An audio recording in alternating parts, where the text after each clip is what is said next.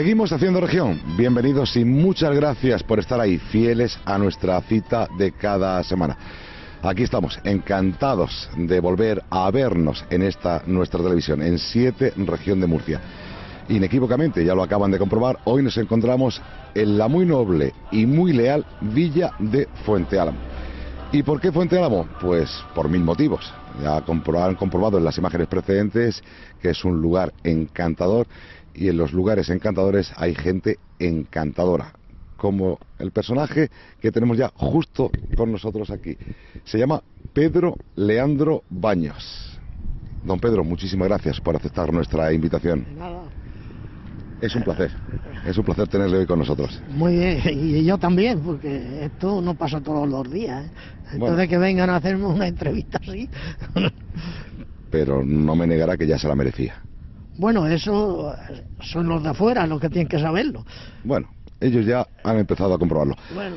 Natural de aquí, de Fuente Álamo, 82 años.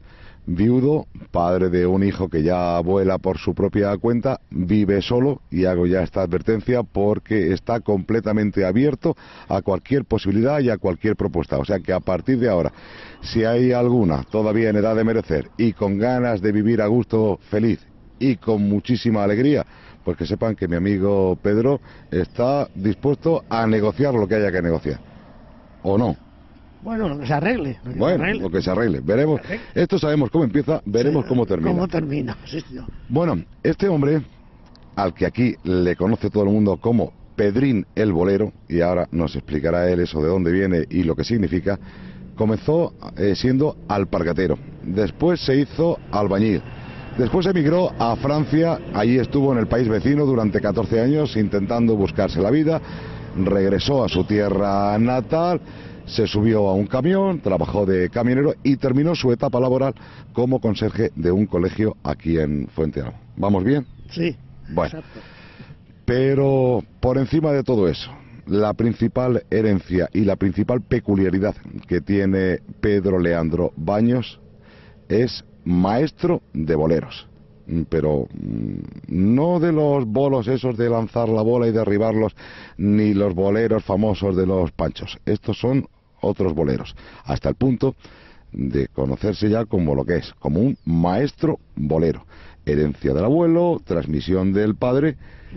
Y aquí está el tío. Y aquí está. Maestro bolero. A ver, eso, ¿eso qué significa? Hay un baile que se llama bolero. Y ese data de, de cuando estaban las cortes y todo aquello, que se desbarataron las cortes. Entonces, pues hubo pues muchos, pues fue uno que se fue a Valencia, que hay un bolero en Valencia, otros se vinieron aquí a Murcia, y aquí en Fuente Álamo pues se quedó ese bolero que le llamaban el bolero, y se llama así, y se quedó aquí en Fuente Álamo. Y el único que lo sabía era yo. Después de morir mis padres, mis abuelos primero, después mis padres y tal, el único que heredó ese baile fui yo. Pero estamos hablando siempre, Pedro, de música de raíz, de música tradicional. tradicional, folclore tradicional o como se quiera decir eso. Eh, y, yo estaba, cuando vine de Francia, me vine, entonces me dijeron, Pedro, que fue cuando se movió todo esto, me dijeron, Pedro, ¿por qué no, tú que sabes todos esos bailes, ¿por qué no nos enseñas y hacemos... Y entonces pues digo, bueno, vamos a probar. Me costó trabajo porque hacía 14 años que no lo había tocado. Pero nada, repasando todo esto pude sacarlo, todo eso, y entonces me dediqué a hacer.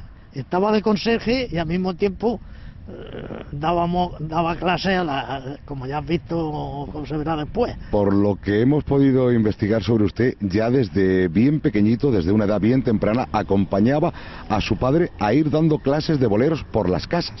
Sí, sí, sí, sí, claro, yo empecé con mi padre pues en cuanto empecé a andar, prácticamente.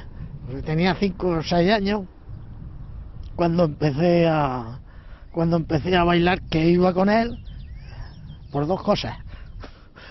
Una porque le ayudaba, porque había sitios que llegaban una casa y había una sola. Entonces había que bailar con ella y había que entonces estaba yo que era el que bailaba. Y Y otra es que al mismo tiempo, como por ahí nos daban de comer y la cosa estaba tan mal en aquellos tiempos. Y no era cuestión de hacer un feo ni de despreciar la merienda. No, no, no, ¿qué va?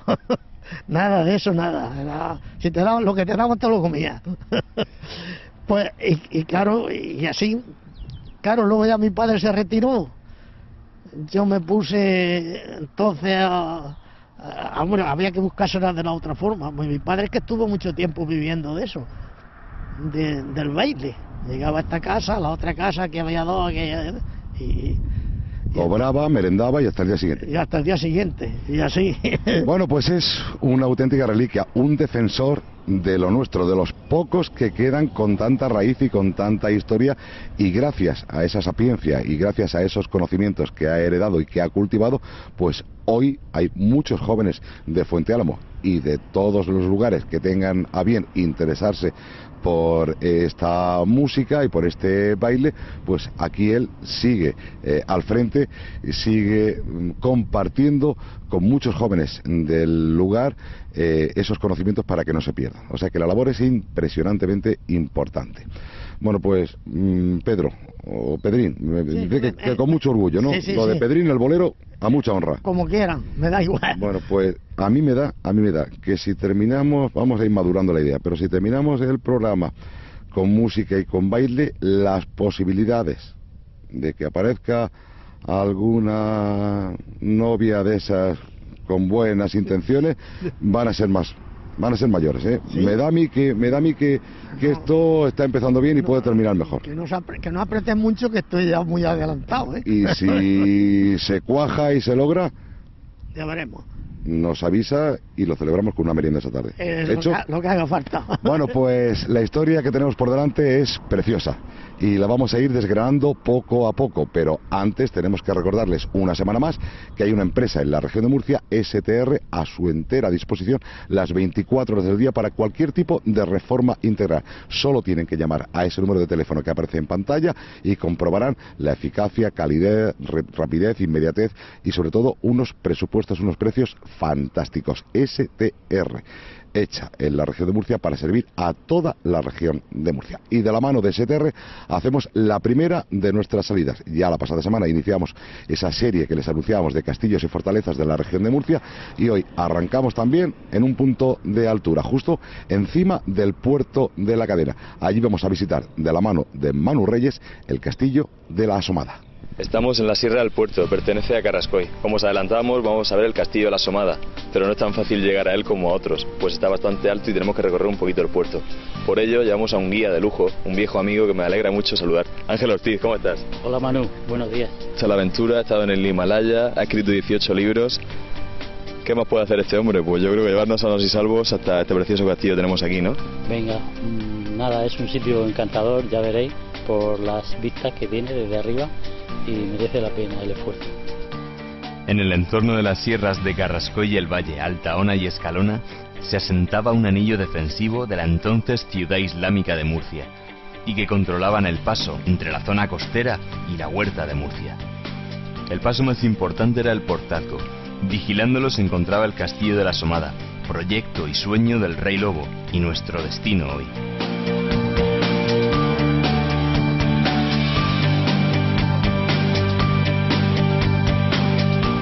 Aparte de lo mucho que estamos disfrutando las vistas que vemos ahí al campo de Cartagena, como me comentabas, también el Mar Menor, ¿verdad? ¿Qué es lo que has encontrado en el suelo? Pues ahí cerámica árabe, principalmente. Ya sabéis que estamos llegando a, la muralla del castillo y entonces pues eh, hay muchos restos esparcidos ¿no? por el suelo.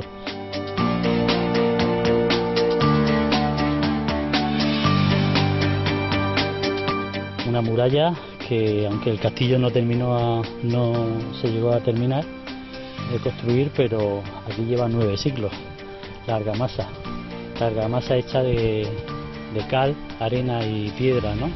que era como construían los musulmanes en aquella época, no con bloques de piedra, sino haciendo la argamasa por paños, ¿eh? que se puede apreciar y que, y que está intacta, está perfecta. Es increíble pensar, hace nueve siglos, manos aquí como las nuestras, a lo mejor un poco más morenas, ¿no? Porque eran musulmanes, construyendo esto y que ha aguantado hasta, hasta que nosotros hemos llegado hoy aquí, ¿verdad? Sí, la verdad es que es un material, es un hormigón. ya sabéis que el hormigón lo inventaron los romanos y los romanos parece ser que también tuvieron aquí un castro, pero, pero este hormigón hecho de, o esta argamasa hecha de cal, como lo hacían ellos, es indestructible, vamos, en el paso de los siglos. Mientras subimos junto a Ángel observamos el campo de Cartagena y vemos las murallas sin terminar de este ambicioso proyecto de Muhammad ibn Mardanis, que en el siglo XII convirtió a Murcia en capital del reino de Al-Ándalus. Aquí vemos el puerto de la cadena, estamos viendo el Valle de Murcia y estamos sobre la muralla del castillo construido por el rey Lobo, como nos has dicho, en el siglo XII. Cuéntanos qué es lo que estamos viendo. Bueno, pues en la cumbre del cabezo del puerto, donde estamos, eh, es el enclave del castillo de la Somada. ¿no? El futuro castillo eh, iba a ser un castillo militar que vigilaba el interior del valle y la costa, ¿no? Dice el futuro porque no, no se llegó a acabar el castillo. No se llegó a terminar, ¿no? Se aprecian los muros, que además están muy bien conservados porque pues porque estaban estaban a medio construir. Se supone que la calzada romana que, que de la costa de Cartagena cruzaba al interior por el puerto de la cadena está bajo la antigua carretera. ¿eh? Y ahí en aquella curva se aprecian los, otros dos castillos del Portazgo, ¿no? construidos también posteriormente e inacabados, ¿eh? que son donde están aquellas tierras amarillas, junto a las casas del Portazgo, hoy día un área recreativa, eh, es uno de los castillos, y el otro está en la loma de aquella con pinos, ¿no? Es decir, era un lugar de control y de paso para pues para tenerte eh, controlado el, el tránsito de mercancías, de todo lo que circulaba del valle a la costa. Este castillo pues tendría un control visual, ¿no? Porque allí enfrente estarían los castillos de eh, Monteagudo. Estamos hablando ya del Valle de Murcia. Claro, allí en el valle lo que pasa es que no se aprecia bien por la calima, pero detrás de la ciudad eh, estaría está el castillo de Monteagudo que hoy día tiene el Cristo, ese de Monteagudo eh, pero que era un granero, era un, fortín militar también musulmán con un granero, ¿no? Y junto a él estaba el, Castillejo, que era el castillo de verano del Rey Lobo, y el castillo de Larache, y un poco más a izquierda el castillo de, del Cabezo de Torres. ¿eh? Y en toda esta línea de costa que ves aquí, eh, hacia la Cresta del Gallo, que está allí al fondo, pues estaban una serie de castillos también, como es el Castillo de la Luz, es el Castillo de los Garres, es el Castillo de Tabala, que está allí pasado Torreagüera, es decir, que había dos frentes de castillos en, en el borde de la costera esta y enfrente, ¿no? Para, para dominar el valle puesto que además sabéis que Murcia la fundan los Abderramán II. Muchísimas gracias por nuestro guía, traernos aquí arriba y enseñarnos nuestro pasado del que nos sentimos muy orgullosos. Y ahora hay que bajar. El castillo de la Asomada. Dejamos el puerto de la cadena y descendemos unos cuantos metros para regresar a la muy noble y muy leal Villa de Fuente Álamo, donde continuamos con nuestro protagonista de hoy, con Pedro Leandro Baño, terminado en O, si la S, aunque la inmensa mayoría ya, Pedro, ya le pone la S por el mismo precio. Baños, todos me llaman baños, sí, por el mismo precio, claro, según lo fino que es que escribe, pues te pone la S o no te la pone, pero bueno, ya me da igual. Y si alguien tiene algún problema, Pedrín, el, bolero. El bolero, sí, Maestro, estamos ahora en otro lugar emblemático de Fuente Álamo, la Casa del Agua, el Aljibón. El Aljibón. ¿Cuántos años ha bebido la gente de Fuente Álamo el agua de este aljibón? Uf, pues yo no lo puedo decir porque yo cuando lo conocí eh, estaba ahí, donde mismo está. Quiere decirse que siempre ha sido ahí, yo siempre la he conocido ahí. y quiere decirse que tiene que tener mucho, pero no puedo decir lo que eran, pero sí muchos años. Bueno, seguimos recordando un poco su trayectoria. ¿Qué le resultó más duro, Pedro? alpargatero, emigrante a Francia, albañil, camionero. lo más duro de todo fue la emigración. Tener que dejar la tierra. Tener que me dejé la mujer con un, con un chiquillo de tres meses, con mi hijo, con el que tengo. Eso fue más duro. Y luego marcharme al pueblo, a, un, a una nación porque ellos no conocían, eh, no sabía decir más que Mercy. Era lo único. Pues en 14 años aprendería algo más. Sí, aprendí bastante. Me hice el carnet allí de el carnet de conducir y todo, y estuve de camionero allí también. Vamos, en una empresa, pero llevando el camión de la empresa. Y, y- y claro, pero, uy, era muy triste eso de tener que comprarte un, un pan y tener que ponerle al, al dueño del establecimiento la mano con el dinero para que escogiera lo que quisiera, porque no sabía, no sabía decirle, te decía y tú no sabías decir la cantidad que era, vaya, es que no te enterabas. Y siempre me imagino, Pedro, soñando con el día del regreso a Puente de la Mano. Bueno, eso no se, esto, esto no se olvidaba. Todos los santos días. Y, y cuando había, vamos a comprar esto y tal. No, ¿para qué lo quiero comprar si yo me voy para España? Y así estaba, así te pasa- Y así me pasé 14 años, oye. Quiere decirse que, que me pasé buen tiempo. Muchos días para la nostalgia y la añoranza, ¿no? Sí, sí, claro. Yo cuando estuve allí año y medio, dos años, vine y me llevé la mujer con el chiquillo. Y allí estuvimos. Ya por lo menos se hacía un poquito más llevadero. Sí, ¿no? no, claro, ya estábamos juntos, por lo menos. Los tres que éramos allí estábamos en una casica que yo con- encontré allí eh, alquilada y allí estábamos, allí vivíamos como muy bien, porque la casa era cómoda.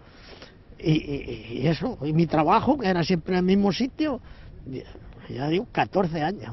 Bueno, y muy contento también ahora de saber que la historia continúa. Sí. El hijo no ha querido muchas cuentas, pero hay un sobrino, hay un sobrino que se llama Pedro José Navarro Baño. No, se llama Pedro, Pedro, José, Leandro, Pe- Pedro José Leandro Baño. Leandro Navarro. Navarro, claro. Claro. Vamos. Pedro José Leandro Navarro. Navarro, sí. Un sobrino que continúa la tradición. Continúa la tradición. Eh, eres profesor y, y al mismo tiempo pues se ha dedicado, yo le dejé la rienda a él, por decirlo de alguna manera, y él, él lo hace, él hace sus bailes, hace- vaya, la cuadrilla de Fuente Alba, Pero el chacho no quita ojo. yo allí estoy, hago lo que puedo, que ya no es mucho, porque ya no, yo no sirvo ya para dar blinco y, y todas esas cosas. Hago mis pinicos y tal, pero poca cosa, poca cosa. Y así, y, y todos los sábados por la mañana, en lo que es la piscina, la piscina vieja, que le llamamos aquí en el pueblo piscina vieja, pero es la piscina del pueblo, la primera que hubo, allí, allí él da su, allí tenemos nosotros la sede y allí da él sus clases. Cuéntame un secreto ahora que no nos escucha nadie. ¿Es verdad o se ha cumplido también el dicho en usted de que el hombre que sabe danzar y sabe bailar y sabe cantar, sabe ligar? Hombre, eso es que hay de todas clases. Unas veces te sale bien y otras Esa sonrisilla, esa sonrisilla, algún plan, algún plan medio regular le habrá salido. Había que, había que, había que respetar. Si no, por ejemplo, Sí, esto- pero se, se le han reído los huesos. bueno, eso sí, quiere decirse que siempre había alguna papeletica por el medio, pero había que ser, ¿Y al- alguna vez tocaría en la rifa? a- no, había que ser muy, muy, muy, muy estricto en eso, porque si no, luego, luego según por donde cayera. Que hacían la foto enseguida del. ¿no? Sí, sí, sí, enseguida decían, fíjate, maestro, que si al fulanica, que si, si ya es una cría, sí, pero nada, ¿qué, vamos a hacer? ¿Eh? O sea que los tejos con, con mucha mañica. Con mucha moñica. y si, si podía ser ninguno, mejor, mejor que alguno. Pues con esa misma mañica que Pedrín tiraba los tejos, ahora que su santa esposa no lo escucha, pero no, fuera de bromas, con todo el cariño y con todo el respeto del mundo. Pues, en definitiva, con esa misma mañica, nosotros le hacemos otra propuesta, diferente en este caso, el flan de café reina. Una perfecta combinación del flan elaborado con los sistemas más tradicionales y con el sabor de siempre y el mejor café. El resultado, delicioso, fantástico, ideal. Es el, producto que nos recomienda Postres Reina en esta semana, su flan de café. Y les aseguro, como siempre, que si lo pruebas, repites. Y ahora, desde Fuente Álamo nos marchamos hasta el campo de Cartagena. Allí se elaboran unos deliciosos vinos. Mamel López nos lo va a contar con más detalle desde Bodegas Serrano.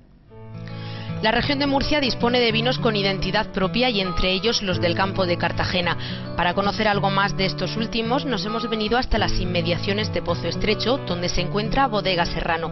Aquí se elaboran diferentes caldos, pero hoy nos vamos a centrar en uno muy peculiar, el espumoso. Manolo, lo primero de todo, yo quiero que nos cuente la diferencia entre un vino espumoso y un cava. Pues realmente el sistema elaboración no hay ninguna diferencia. Eh, Es un vino que se produce en segunda fermentación en botella y después posteriormente su degüelle y, etiquetado, ¿no? Lo único que diferencia es que geográficamente en España hay una mediación de origen que abarca cinco comunidades autónomas, que es Cataluña, parte de Aragón, parte de Rioja, Requena en Valencia y Almendralejo en Badajoz, que pueden permitir el utilizar a en la hora de elaborar un vino espumoso la denominación de origen cava. El resto de elaboradores de vinos espumosos de calidad en España no podemos utilizar ese tipo de, calificación porque geográficamente la región de Murcia no está dentro de la de Ocava. En esencia el proceso es el mismo. Lo único que pueden variar es un poco las varietales que se utilizan. Por ejemplo, en la de Ocava, en variedades blancas están utilizados es el macabeo, salero, parellada y yo utilizo moscatel, malvasí y chardonnay, que son variedades que realmente eh, son las que yo veo más propicias y son las más aromáticas y las más eh, próximas que tenemos aquí. ¿Cómo es ese sabor? Pues es un- es- son vinos mucho más cálidos, más golosos, aquí tenemos mucha maduración, son mucho menos ácidos. ¿eh? Y luego, eh, para que sean muy perfumados, utilizamos malvasí y moscatel, que son dos variedades autóctonas del Mediterráneo, que aquí van de, de maravilla. ¿eh? Y luego, como variedad para aportar volumen, porque queremos el- que el vino espumoso sea corpulento, estructurado, aportamos chardonnay. Chardonnay no es una variedad autóctona española, pero sí es una variedad como blanco que ayuda a aumentar el volumen en boca y dar estructura a un vino. Ahora vamos a conocer cómo es el proceso de, de elaboración de un vino espumoso. Un vino espumoso es el, es el vino que el carbónico que tiene dentro, el gas carbónico, proviene de una segunda fermentación. La primera fermentación se ha hecho en un depósito habitualmente abierto y la segunda fermentación se hace dentro de una botella como esta, que es una botella que pesa 700 gramos y es capaz de soportar hasta 7 kilos de presión. Realmente la botella hay que llenarla con, con un vino seco y se le adicionan 22 gramos de, azúcar por cada litro y levadura. La levadura lo que hace es consumir ese azúcar, transformarlo en anhídrido carbónico, en gas carbónico y ejerce ese gas una presión hacia el vino. La presión puede llegar hasta 5 kilos y medio, 6. Por eso inicialmente se pone el tapón de chapa, como veis aquí. ¿eh? Aquí ya están puestas lo que se llama en posición en rima, posición horizontal, y aquí tiene que estar durante mínimo nueve meses. Durante ese proceso, las levaduras consumen la totalidad prácticamente del azúcar que hay y cuando termina de consumirlo se mueren. Y como cualquier ser vivo, abajo quedan, digamos, los, los restos de, de la levadura. Va a ser un poco más complicado porque hay que intentar, sin cambiar la botella, de eliminar ese pozo. La siguiente posición en la que se pone el, el vino espumoso es posición en, en punta, ¿eh? que es, eh, como aquí veis, en un pupitre, que es como se hacía anteriormente. Eh, aquí se le daba, mm, se giraba un cuarto de vuelta cada, cada día y hacía de que el pozo que hemos visto anteriormente se vaya descolgando y se vaya eh, posando en el, en el fondo de la botella. El siguiente paso consiste en cómo eliminar el pozo y se hace en esta máquina que se llama champagel, que es una máquina que congela los cuellos. ¿eh? Como vemos, congela el cuello de la botella. y aquí- Sí, que vemos la escarcha y vemos que hasta aquí está congelado. Ahora mismo se le puede dar la vuelta a la botella que el pozo se queda retenido. Ahí. Perfectamente. Entonces, sin perder mucho tiempo, tenemos que pasar al degüelle. Vamos a proceder a quitar el tapón, retirar el sedimento, teniendo en cuenta que tenemos 5 kilos y medio de presión dentro de la botella.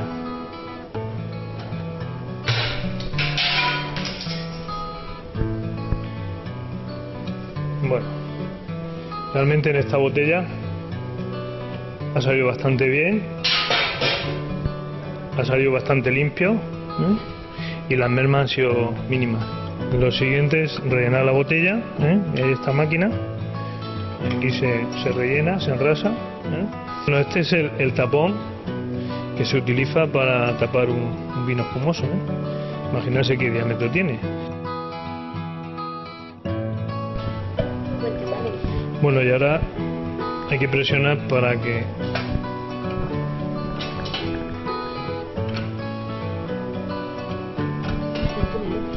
Sí, ya tenemos el tapón puesto con forma de seta, ¿no? Para terminar es mm, asegurarnos de que el tapón no va a saltar con el tiempo, hay que ponerle el morrión, que es este alambre. Lo ponemos en esta máquina, presionando la botella de nuevo, se le giran tres vueltas y Listo. como vemos, terminado, lavar la botella y etiquetarla. Es el, el último paso. Y luego el último paso es consumirlo. Aroma, color y sabor para despedir este reportaje con un brindis digno de las grandes celebraciones. Múltiples y variadas las ofertas que tenemos de vinos de la región de Murcia, pero estos particularmente tienen su identidad propia y se los recomiendo. Bodega Serrano. Mame López, muchísimas gracias. Ahora una mínima pausa para que atiendan muy cuidadosamente estos consejos y en apenas un par de minutos estamos de vuelta en Fuente Álamo con Pedrín el Bolero.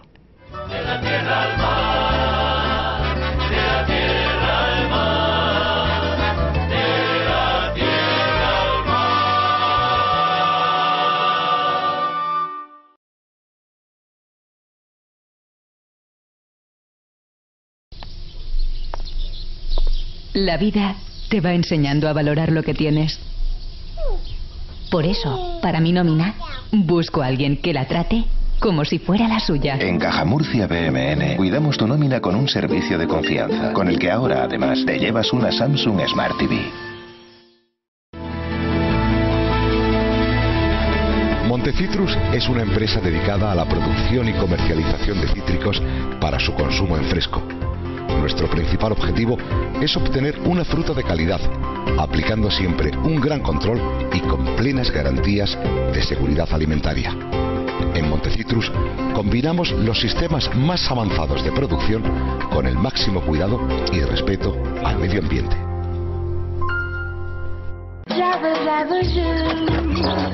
Chicos, vámonos.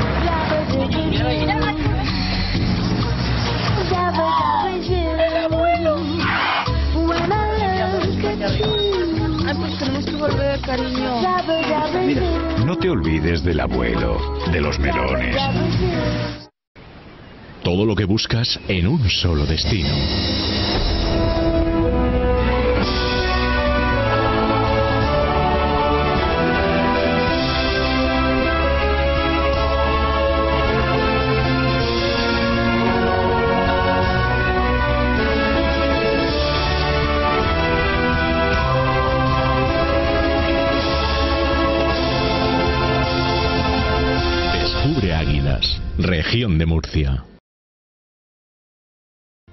Citroplant es un vivero de producción de plantones de cítricos que dispone de la mejor oferta de nuevas variedades y especialmente de las protegidas. Las raíces de calidad y nuestro moderno sistema productivo garantizan un altísimo éxito en el trasplante. Viveros Citroplant, siempre en vanguardia. En tu piscina, la cloración salina. Selecta Piscinas te la instala ahora en oferta con regalo del dosificador de pH. La cloración salina tiene muchas ventajas. Produce cloro natural, no irrita la piel ni los ojos, mejora la calidad del agua, porque las piscinas son para disfrutarlas, no para ser su esclavo. Selecta Piscinas, la única empresa con certificación para instalar cloradores salinos. Contáctanos en selectasoluciones.com o en el 669 17 La vida te va enseñando a valorar lo que tienes. Por eso, para mi nómina, busco a alguien que la trate como si fuera la suya. En Caja Murcia BMN cuidamos tu nómina con un servicio de confianza, con el que ahora además te llevas una Samsung Smart TV.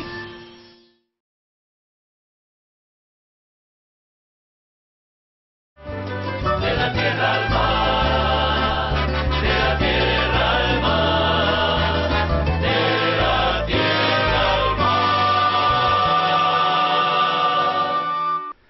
De vuelta con todos ustedes, superando el ecuador de este programa que nos está permitiendo en esta ocasión conocer algo más de la muy noble y muy leal villa de Fuente Álamo y especialmente de uno de sus personajes más ilustres. Pedrín el bolero. Me, me- me ha caído a mí eso bien de Pedrín el bolero. Lo otro parece que Pedro Leandro Baño, aunque aquí en esta publicación aparezca la S, mm, bueno, debieron cobrarles lo mismo y le pusieron la, la S, Sí, bueno, eso, escrito por el sucesor, Pedro José Leandro Navarro. ¿cómo se- ¿Eh? Ya hasta con, con un libro. era en, en Murcia, me parece que se llamaba, ¿no? Entonces él hizo el libro y lo presentó, y entonces me llamaron enseguida, y allí se probó con Manuel Luna, con eh, toda esa... Y, y- y allí me hicieron un agasajo y, en fin, que me dieron un, un pequeño Recuerdo. recuerdo, que está en mi casa también, y en fin, allí pues yo como era lo primero que hacía, estaba medio asustado, por no decir asustado Eh, Estoy viendo que casi casi se está emocionando. porque lo que me pasa es que me se van las palabras que tengo pensadas. Pues, con el libro y lo que estamos haciendo hoy, premio seguro, ¿eh? ¿Premio? Ya lo verá, ya me lo contará, ya, ya me lo contará. Está bien, está Ya bien. me lo contará, ya me lo contará. Nada, sí, sí que lo Bueno, contaré, sí. Si es que ya tenemos experiencia en esto y esto funciona. Pues ¿eh? Que alguien dijo una vez que no es bueno que el hombre esté solo. Hombre, pues no, no es bueno. Pero en fin, ¿qué vas a hacer? Cuando te toca, te toca. Esto lo arreglamos. Esto lo arreglamos. Ya, ya lo verá. No, ya, no, ya verá, ya, Pedro. ya veréis cómo eh, termináis, porque de aquí salgo yo liado. Eh, De eso se trata. De, de liarse. Bien liado, bien apañaico, bien arreglaico, pero bueno. Eh, bromas al margen. Eh, habrá danzado, habrá cantado y habrá bailado, vamos, en todos los puntos y lugares como mínimo de la región de Murcia. Claro, en la región de Murcia y fuera, en la región de Murcia. Hemos estado en varios sitios. Eh, eh, el sitio más importante fue la Expo. Estuve- estuvimos en la Expo cinco días allí, nos, tuvimos, nos tuvieron allí, madre mía, Y a Cuerpo de Rey en Sevilla. a cuerpo de rey y, y trabajando, porque había que había que, Que dar el callo. allí y tal, pero bueno, sí, eh, hemos estado en Valencia, hemos estado, bueno, en muchos sitios, ¿para qué? Vamos, Y a los del país vecino, en 14 años, también algún baile les echaría allí, ¿no? Sí, bueno, claro, esto pues en Albacete, en la, No, si digo a los franceses. A los En franceses, 14 años allí también le echaría algún baile. ah bueno, a los franceses no le eché O ni- pues son más osos, ¿no? son- sí, esto no lo entendían y yo tampoco dije nada, porque es que no lo entendían esto y, y no hice, y además que allí estaba solo. Pedro, le veo feliz, le veo un hombre satisfecho de toda esa historia acumulada a lo largo de 82 años tan bien llevados como los lleva usted. Pues yo me encuentro muy bien, ¿para qué? No sé, pero que me encuentro bien, quiere decirse, no tengo nada de enfermedades, ninguna de, hombre, me refiero a enfermedades, porque uno se refríe, eso no es una enfermedad, Eso no es ni chapa y pintura. ni nada, eso es nada, pero que me encuentro bien, exactamente. Bueno, pues ya lo saben. En perfecto estado de conversación, libre y dispuesto a lo que venga bien. Y si hay que bailar, se baila. Y después, lo que nos eche, lo que nos eche. Bueno, pues ahora lo que toca es recordarles que STR, una empresa especializada en cualquier tipo de reforma integral en su hogar, está a la entera disposición de todos ustedes las 24 horas del día llamando a este número de teléfono. A cambio, profesionalidad, calidad, rapidez, inmediatez y sobre todo unos precios fantásticos. STR, reformas integrales del hogar a su disposición llamando a este número. Y ahora pues hacemos la tercera de nuestras salidas. Manu Reyes, nuestro reportero más aventurero, nos espera ya muy cerquita de los baños de fortuna para meterse bajo tierra. A este también lo que le echen en esta ocasión es peleología. La espeleología es una ciencia que consiste en la exploración y estudio de las cavidades subterráneas. El francés Edouard Alfred Martet está considerado el padre de la espeleología moderna. Y precisamente de Francia acaba de llegar el equipo de espeleología del Centro Elfo, capitaneados por Luis Álvaro Martínez, que hoy será nuestro guía en su mundo, el mundo subterráneo. Estamos en la cueva de la Almagra, precisamente una de las más remarcables de toda la región por un hecho singular y es que en principio es una cueva que ha sido horadada por aguas termales. Nos encontramos en Fortuna, nos encontramos precisamente muy cerca de lo que es el balneario y precisamente en una de las zonas donde hay aguas termales. Esta cavidad como tal es lo último que queda de esa actividad de agua termal porque ahora mismo los niveles freáticos están mucho más abajo. En su momento, hace algunos cuantos millones de años, posiblemente estuviera eh, inundada por agua. Nos encontramos en lo que sería el estrato superior con calizas bioclásticas del tortoniense y el estrato inferior es un estrato de calizas dolomíticas del Lías superior. Con lo cual, entre medio, precisamente que se crea un estrato eh, con las posibilidades de ser horadado por, precisamente por, por el ácido carbónico, lo que ha hecho ha sido esa agua termal horadar y crear un sistema laberíntico de aproximadamente unos 750 metros. Bueno, muy rápido Álvaro, el equipo que nos hace falta y condiciones y preparación para meternos a hacer espeleología con seguridad. Pues hombre, como siempre, un casco, indudablemente ir provisto de los conocimientos necesarios, para eso hay gente que indudablemente da cursos de tipo homologado, con lo cual se puede acceder a tener eh, la técnica y el conocimiento necesario para meterse dentro del mundo subterráneo. Eso por supuesto, siempre.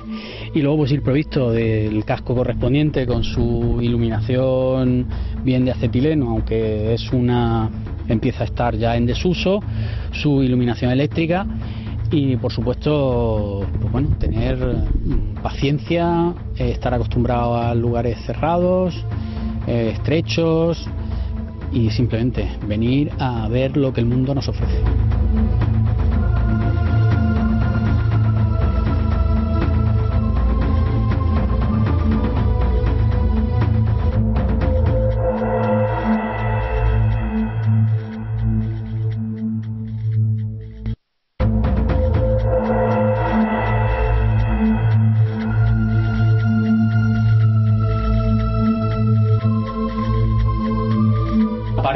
Del ente vivo en sí, que es la propia cavidad, nos vamos a encontrar muchos otros animales que polulan y que están por la cueva. Por lo tanto, tenemos que tener el máximo respeto hacia ellos, mirar a ver por dónde están, precisamente para que nuestras huellas mm, no coincidan en su marcha y tengamos algún, algún problema. La zona de los baños de Fortuna cuenta en sus proximidades con cuevas en las que la temperatura y la humedad son muy altas, debido a que nos encontramos en una zona de alta actividad termal.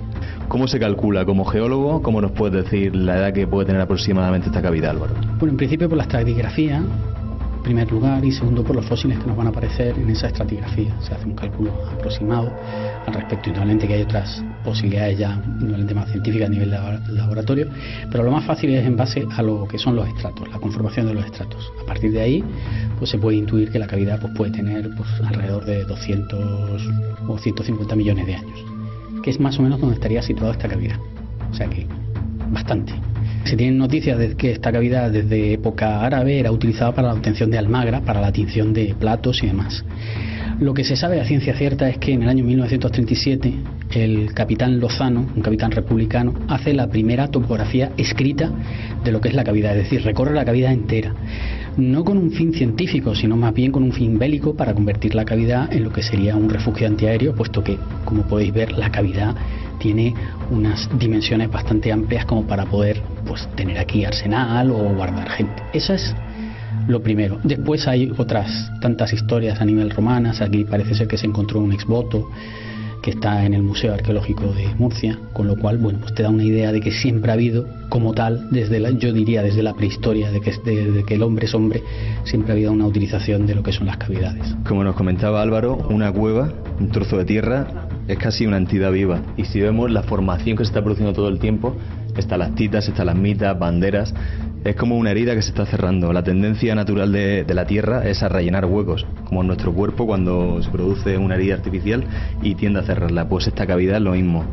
A veces por la mano del hombre, a veces por accidentes, a veces por terremotos, por lo que sea, cualquier condición, se crean estos huecos, se crean estos espacios. Y como vemos, ahora mismo parece que incluso se está cerrando, la sensación se está cerrando con nosotros dentro. Lo que pasa es que nuestro tiempo es mucho más pequeño que, que en realidad el de la Tierra, que se mide en millones de años. El nuestro, pues, como mucho, si tenemos suerte, llegamos a los 80, ¿no? ¿Cómo empiezas tú en este mundo? ¿Cómo te enamoras de, de meterte aquí, en estas cavernas, en estos abismos? Pues simplemente por curiosidad, es decir, por querer saber qué es lo que hay un poco más allá. Eso creo que la curiosidad en el hombre, que es innata, tiene que ser mm, la máxima aspiración para progresar. Es decir, ¿qué es lo que me encuentro en estas galerías? E indolente pues hacer una serie de trabajos o estudios científicos que están relacionados con el medio subterráneo y que después pues te dan la circunstancia de conocer la cueva, saber que la cueva tiene 750 metros más o menos de recorrido, que tiene aproximadamente una humedad relativa del 92% y de que su temperatura más o menos estable a lo largo de todo el año pues puede ser alrededor de los 25 26 grados más o menos ¿no? de todas formas lo estamos sufriendo ¿no? como veáis hace calor aquí dentro todos estamos sudando y demás y se nota bueno pues eso es lo que te da la curiosidad el investigar Y citando a un gran autor, nos despedimos hoy. Las visiones tiemblan y se desvanecen, las antorchas se encienden en otra sala, en otro sueño, los salones se suceden, un recinto se abre a otro, una bóveda sigue a otra bóveda, y una escalera a otra escalera. Los senderos sinuosos llevan al corazón de la montaña. Cavernas, las cavernas del abismo. Feliz ha sido la suerte que hasta aquí me trajo. Lloro ahora al tener que dejarlas.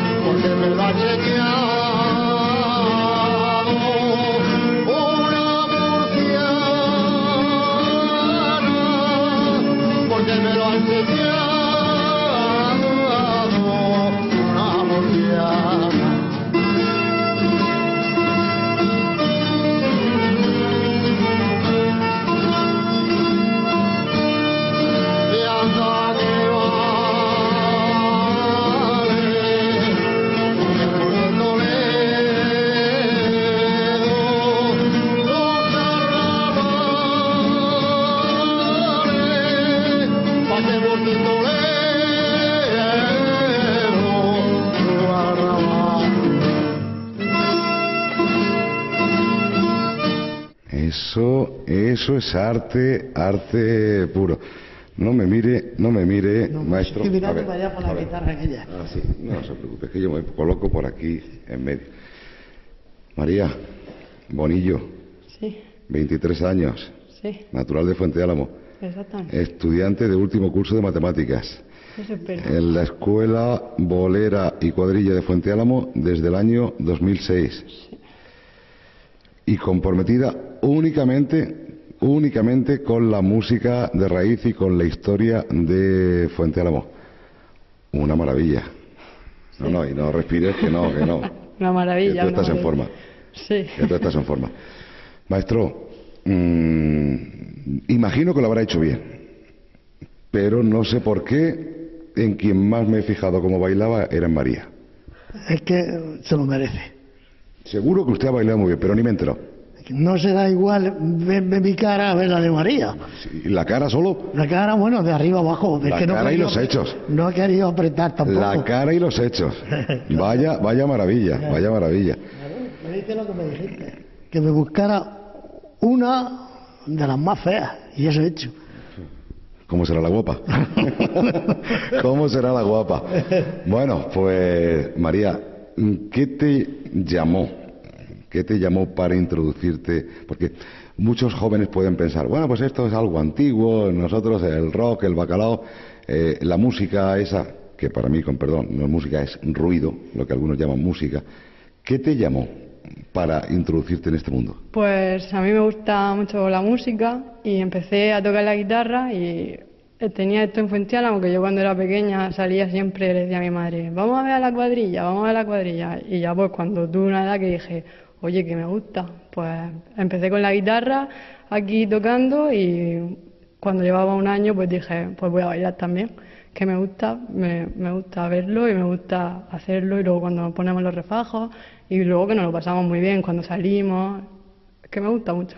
Y encima, seguro, seguro que la música y el entrenamiento te ha ayudado a moldear esa maravilla de cuerpo que tienes, hija. Bueno, hombre, algo también hemos ayudado, porque ensayamos todas las semanas y quieras que no, se suda, se suda bailando. Bueno, venga, coge, coge un poquito de aire. Maestro, eh, qué satisfacción y qué alegría, al margen de ver a María, y perdón por el pareado, ver y comprobar que la historia continúa, que hay futuro. Eso es lo importante, que se siga, porque si no, esto entonces no, pues no va ni- Si se queda aquí, pues no va a ninguna parte. Tiene que, normalmente, nosotros queremos que siga. Y creo que sí, porque mi sobrino es un, es un lince para estas cosas. El sobrino y los que vienen detrás del Ya, sobrino. no, claro, pero es que ahora eres el jefe. Resulta que eres el maestro. de- Con el ojo maestro del chache. que sí, claro, el ojo del amo engorda el caballo, dice el refrán. Hombre. Y qué orgullo también tan grande saber que dentro de tres añitos se va a cumplir el tercer centenario, los 300 años de historia de la cuadrilla de Fuente Álamo. Ahí es nada. Ay, sí, eso sí. Esperemos verlo, porque esperemos verlo porque ya. ¿Tiene alguna duda? ¿Tiene alguna duda? No lo vamos a ver. No, yo no tengo duda ninguna, pero es que no, sabe, no se sabe. yo no tengo duda. Mm, Yo, menos. Ya, porque ya. cuando llegue quien tiene que llegar y le alegre aún más la vida, va a durar usted como mínimo, como mínimo, lo mismo que el tío Juan Rita. Pues ¿Lo firmamos? eh, sí, claro que lo firmo. A ojos cerrados, ¿no? A ojos cerrados. Bueno, y después de la música y del baile, ahora a refrescarse y a endulzarse el paladar con la propuesta que nos hace Reina esta semana. El flan de café. Elaborado el flan de la manera más tradicional, como se ha hecho toda la vida, en perfecta combinación con el mejor café. Les aseguro que si lo prueban, repiten. Segurísimo. Flan de café Reina. Una delicia para el paladar. Y para nosotros es una delicia dar paso al último de nuestros reportajes. Y además lo tenemos muy, muy, muy cerquita de aquí, porque también es de este lugar y de esta tierra. Saben que muy, muy, muy frecuentemente visitamos pedanías y pequeños núcleos de población con encanto. Bueno, pues en esta ocasión visita turística guiada por Mamen López a una pedanía de Fuente Álamo, simpática y cariñosa donde las haya, El Escobar. De la tierra al mar viaja esta semana hasta El Escobar, una pedanía con poco más de 80 habitantes que pertenece a Fuente Álamo. Como saben, en este programa tenemos debilidad por los pequeños núcleos de población y por eso estamos aquí, para contarles cómo es y cómo se vive. Federico, ¿cómo es El Escobar?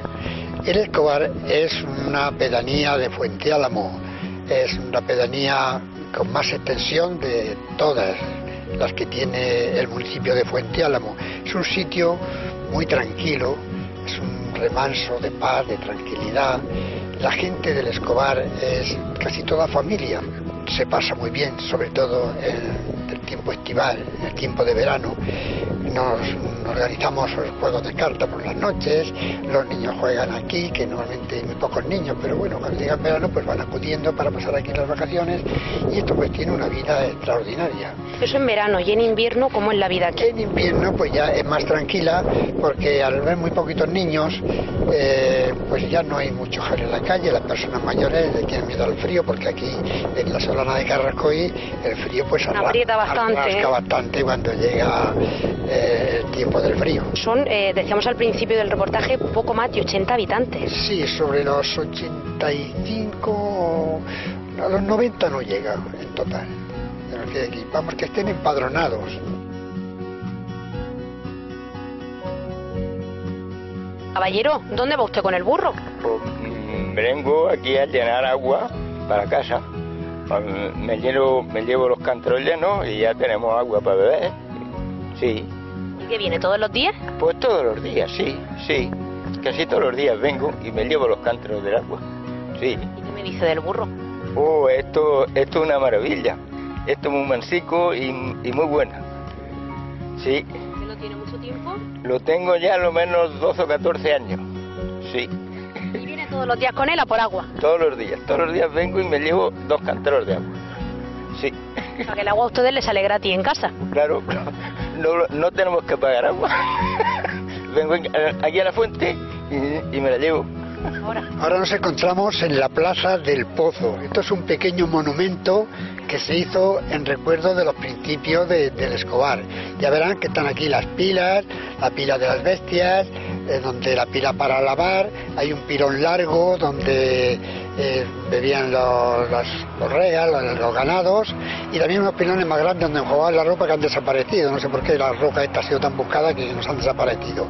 Esto es un sitio, este pozo ya no tiene utilidad ninguna, porque el agua es muy salada, había que sacarla a mano, no tiene motor ni nada, y como ya tenemos agua del Tevilla, pues ya no, nadie hace ya más de 30 años que no se ha sacado un cubo de agua de él. Entonces lo tenemos como monumento histórico. Ahora mismo nos acompaña la alcaldesa pedánea Ginesa, que nos va a contar pues bueno, cómo han prosperado aquí en el Escobar en la última década.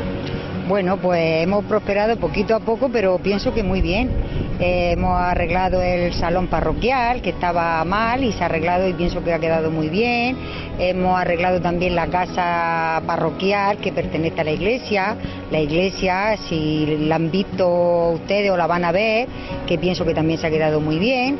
Y eso pues gracias a la rifa, a los bingos que hacemos benéficos y a toda la gente que, como un pueblo pequeñico, pues toda la gente colabora y nos ayuda mucho. Ahora mismo nos encontramos en la iglesia de aquí del pueblo, donde vemos a nuestras espaldas a su patrón, a San Juan Bautista. Y bueno, Federico nos va a contar cómo es esa devoción que se le tiene aquí en el Escobar al patrón. Bueno, pues yo diría que la devoción que se le tiene a San Juan Bautista es una devoción que ya tiene raíces muy antiguas, de siempre. Yo diría de siempre porque no sabemos el principio, solo sabemos que allá por, el siglo XVII se construyó esta ermita donde había una torreta de los moros que fueron los primeros habitantes de aquí.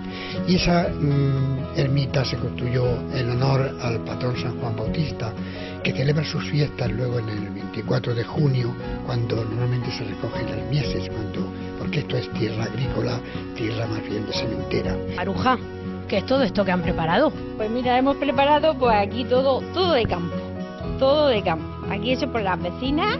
Mira, esto es una, una almiga que se hacen sin nada. Aceite, los ajicos fritos, la harina amasada con agua y un poquito de sal y huerta y huerta y la miga. Todo natural, sin alteraciones de nada. Todo lo que tienen me dice que esta es su cosecha, los tomates, los higos. Natural, mira las olivas. A ver, enséñaselas a mi compañero, las olivas. Las olivas, las olivas mm, son también de aquí del campo cogidas. Las echas en agua, las tienes un día en agua, luego las cambias, le pone otro día agua, luego las vuelve a cambiar y luego le pone un agua sal, le hace un agua sal y la arregla. Ya le echa mm, mm, mojo oliva y sal, un agua sal y ya está la oliva. Nada de alteraciones de ninguna clase. Tienen ustedes buena mano para la cocina. Bueno, sí. Y sobre todo lo hacen mucho con mucho cariño, ¿a que sí, Mucho Maruja? cariño, mucho cariño. Este pueblo es muy pequeño, pero es un pueblo que, que vale mucho. Nos despedimos desde el Escobar, donde en sus calles se respira una inmensa paz y tranquilidad gracias a sus vecinos, gente humilde, trabajadora y con un gran corazón. El Escobar, pedanía de Fuente Álamo, que yo les invito cuando mismo tengan la oportunidad, aquellos que no la conozcan, de visitarla porque es, de verdad, encantadora esa población perteneciente al municipio de Fuente Álamo. Maestro, ha sido un placer. Muchísimas gracias. Igualmente. Y sin que usted se diera cuenta, cuando veníamos para acá y hemos saludado a mi amiga María Antonia Conesa, la alcaldesa de Fuente Álamo, que no sé también qué hace para estar cada día más simpática y más guapa, me ha prometido, sin que usted se enterase, que cuando apañemos todo lo que hay que apañar y llegue el día ese de rematar la, la faena y de celebrarlo, que ella se baila un bolero con usted. Muy bien. Aprendió, aprendió, que esa la enseñé yo. Ahora le toca a usted mover ficha. Ahora haremos, tiene- haremos lo posible. Tiene que hacer usted lo que haya que hacer. Lo que ¿eh? que Nosotros le vamos a ayudar, porque a partir de este momento ya, ya verá el teléfono. Ya verá el teléfono y ya verá la- las pretendientas cómo, cómo empiezan a aflorar. Uy, madre mía, ¿Eh? madre mía. Usted se las busca y a mí lo que va a hacer ahora cuando terminemos yo me quedo enseñando, aprendiendo. Usted enseñando y yo aprendiendo a bailar el bolero porque, ¿qué quiere que le diga? Que me da mucha envidia. Y yo tengo que terminar bailando un bolero con María. Eso está muy bien. ¿Eh? Eso está muy bien. Porque- María no tiene inconveniente. No, no creo. No, No. bueno, pues cuando termine la matemática, María, ¿eh? Aprendo, yo me dejo llevar por ti, ¿eh? porque tú eres la, la maestra, yo el, yo el alumno, pero encantado y muchísimas gracias. Suerte, Igualmente, suerte. Bueno, señores, que ha sido un placer compartir con todos ustedes este tiempo de televisión, que les espero dentro de siete días, aquí, en su televisión de siempre, en siete, región de Murcia, de la tierra al mar, porque seguimos haciendo región con todos ustedes y con esa fidelidad que nos dispensan cada semana. Pero recuerde que hasta entonces, hasta entonces, nos sobran motivos y argumentos para seguir disfrutando de nuestra tierra, para seguir disfrutando de nuestro mar, pero sobre todo y por encima de todo, para seguir disfrutando de nuestros tesoros humanos, de gente tan encantadora como Pedrín el Bolero y mi amiga María, por supuesto. Feliz semana.